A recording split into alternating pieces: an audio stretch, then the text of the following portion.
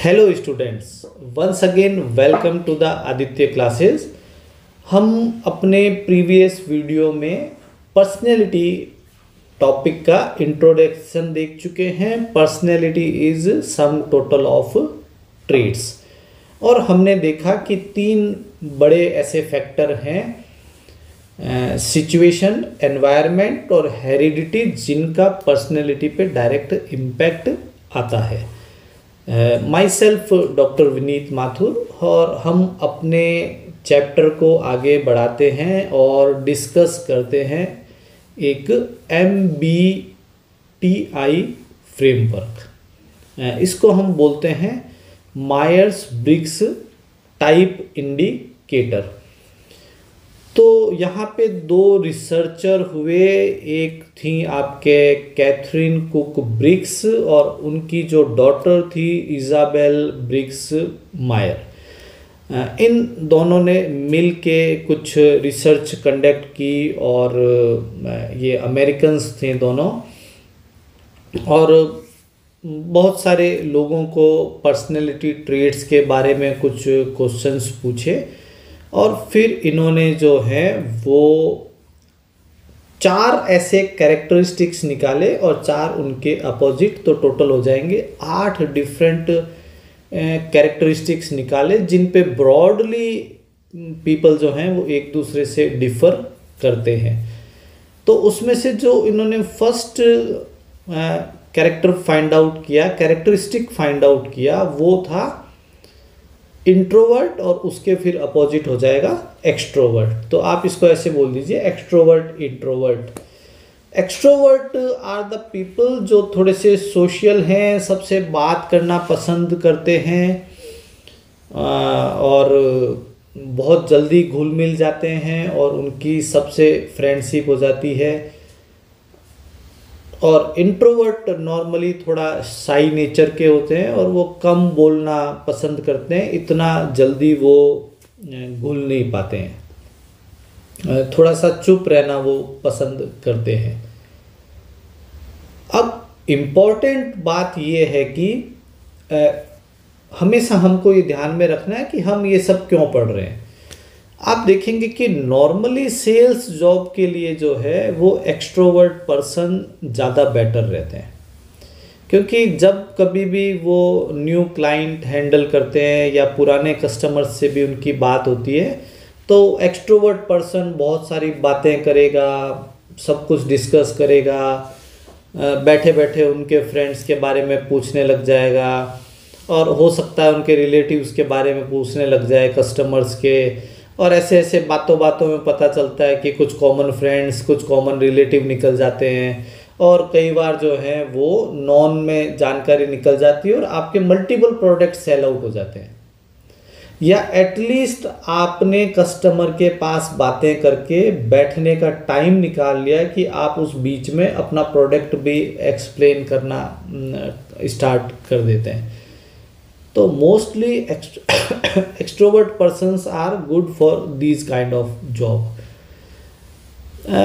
whereas C A हैं auditor हैं, ये लोग थोड़े से इंट्रोवर्ट होने चाहिए ताकि ये अपनी क्लाइंट्स की, अपनी जो कंपनीज़ केसेस इनके पास में, उनका ज़िक्र ये ज़्यादा लोगों से नहीं करते हैं। जो नेक्स्ट क्राइटेरिया है, वो है sensing versus intuitive sensing people कुछ ऐसे होते हैं जिनको एक तो हर काम की कंप्लीट डिटेल चाहिए होती है। और दूसरा, उनको बड़ा ऑर्डरली काम करना पसंद होता है। जैसे आपने कभी इस चीज़ को फील किया कि एज ए स्टूडेंट कॉलेज के अंदर जो भी टाइम टेबल है आपका कि सेकंड लेक्चर वाले सर मैम जो है, वो थोड़ा सा पहले आ गए और उन्होंने फ़र्स्ट लेक्चर में पढ़ा लिया। तो मैंने अपनी टीचिंग लाइफ में इस चीज़ को फील किया है कि कुछ बच्चे अचानक से थोड़ा सा हेजिटेट से हो जाते हैं या अनकंफर्टेबल फील करते हैं। अरे, अभी तो उन वाले सर का लेक्चर था। समहाउ आप बोलिए कि वो मतलब उस ऑर्डर के में अपने आप को ढाल चुके थे। एंड सेकंड इवन टीचर्स के साथ में भी ऐसा होता है कि अगर आपको बोला जाए कि आप जो है वो ये वाला लेक्चर अभी ले लीजिए तो वो कुछ अनकंफर्टेबल हो जाते हैं कि नहीं, अभी हमारी यहाँ पे क्लास नहीं है। सेकंड जो है, वो है आपके इंट्यूटिव दैट मीन्स वो स्पॉन्टेनियस होते हैं और वो अपने अनकॉन्शियस प्रोसेस पे बिलीव करते हैं, इतना ज़्यादा ऑर्डर से उनको कोई मतलब नहीं होता है। Then comes thinking versus feeling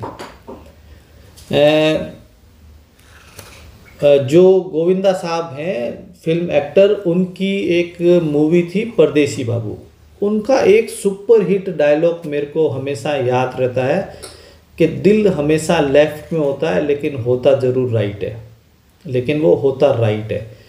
तो आप देखिए, कुछ लोग जो है, वो हर बात में लॉजिक से काम करते हैं, दिमाग लगा के वो काम करते हैं।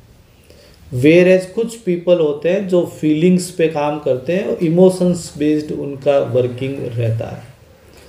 एंड जो नेक्स्ट क्राइटेरिया है, वो है जजिंग वर्सेज परसीविंग ये वंस अगेन जो है, वो कुछ सेंसिंग वर्सेज इंट्यूटिव टाइप का ही है. जजिंग में अगर वंस अगेन ऑर्डर पसंद होता है और उनको हर चीज़ पे कंट्रोल चाहिए होता है मतलब बिल्कुल अनकंट्रोल्ड चीज़ों को वो लोग हैंडल नहीं कर पाते हैं और कुछ लोग होते हैं जो कि परसीविंग नेचर के होते हैं मतलब फ्लेक्सिबल एंड स्पॉन्टेनियस होते हैं, उनको जो भी सिचुएशन के अंदर काम करना पड़े, वो कर लेते हैं। तो ये हमारा मॉडल था, इनका नाम था एम बी टी आई मायर ब्रिक्स टाइप इंडिकेटर इन्होंने ये एक मदर डॉटर कॉम्बिनेशन था और इन्होंने चार डिफरेंट कैरेक्टरिस्टिक्स या ट्रेड्स बताए, जिनके अपोजिट चार ट्रेड और हैं तो ऐसे हो गए। टोटल मिला के एट ट्रेड्स इन्होंने हमसे डिस्कस किए। एक और मॉडल इसी रेफरेंस में है the big five model by John Bearden उन्होंने पाँच बेसिक ट्रेड्स बताए अबाउट पर्सनैलिटी जिस पे लोग एक दूसरे से डिफर करते हैं। उसमें फ़र्स्ट ट्रेट वंस अगेन वो ही है एक्स्ट्रोवर्ट जो मैंने आपसे डिस्कस किया कि वो सोशल होते हैं और उनको बड़े कंपनी पसंद होती है, गप्पे लगाना और ये सब पसंद होता है। एक इम्पोर्टेंट कैरेक्टर उन्होंने दिया दैट वाज एग्रीएबलनेस बहुत सारे ऐसे मोटिवेशनल लेक्चर्स और नेट पे आप पढ़ेंगे कि हमको नो बोलना आना चाहिए। लेकिन यहाँ मैं आपसे एक जस्ट अपोजिट बात आपको बोल रहा हूँ कि आप कोऑपरेटिव होने चाहिए, आपको यस बोलना आना चाहिए। कि आप किसी का साथ देने के लिए आप हाँ भर रहे हैं एटलीस्ट तो एग्रीएबलनेस जो है, जो एग्रीएबलनेस क्राइटेरिया में हाई होते हैं वो मोस्टली कॉपरेटिव होते हैं और वो लोगों के साथ काम भी करते हैं और मतलब ट्रस्टिंग लोग वो होते हैं। और एग्रीएबलनेस अगर लो है तो वो नॉर्मली लोगों से डिसएग्री रहते हैं, वो किसी भी बात के लिए नहीं मानते हैं और जैसा हम इंडिया में करते हैं कि ये नहीं हो सकता, ये मैं नहीं करूँगा। इस टाइप के लोग जो है वो एग्रीएबलनेस क्राइटेरिया में थोड़े से लो होते हैं। फिर जो है वो है कॉन्साइंटियसनेस दैट मीन्स रिलायबिलिटी आप कितने रिलायबल हो? आपने बहुत सारे हम्म, अपने फ्रेंड्स फैमिली मेंबर्स कलीग्स ऐसे देखे होंगे जिनको आपने कोई काम बताया है तो आप मान लो कि वो नहीं होगा। वो बिल्कुल भी भरोसेमंद नहीं होते। दैट मीन्स वो रिलायबल क्राइटेरिया के अंदर लो है।